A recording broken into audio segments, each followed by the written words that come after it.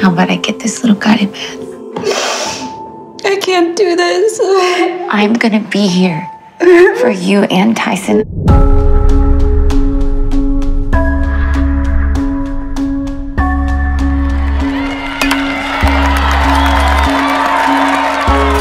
Hi. Hi. Can I get a hot dog, please? Ma'am, uh, wanna go on a date with my dad? My son's very forward. Well, I'm Randy, by the way.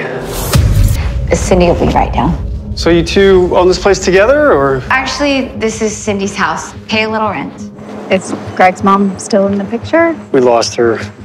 He's so charming, thoughtful, and he's amazing.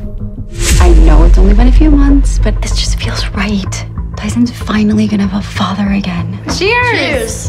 Tyson's cool and his mom's like really nice. I can say she's amazing. Yeah, they always are. Well, he lost his wife. Do you mind if I ask you how you lost her? Janice loved climbing.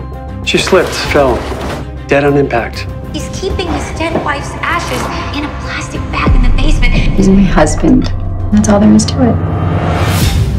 Lifeguards at Lake Sammamish rushed to the aid of a woman drowning, but arrived too late to save the mother of two. Cynthia Baumgartner Roth was later pronounced dead at King County Memorial Hospital.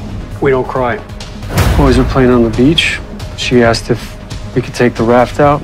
I don't believe you. I need to teach you.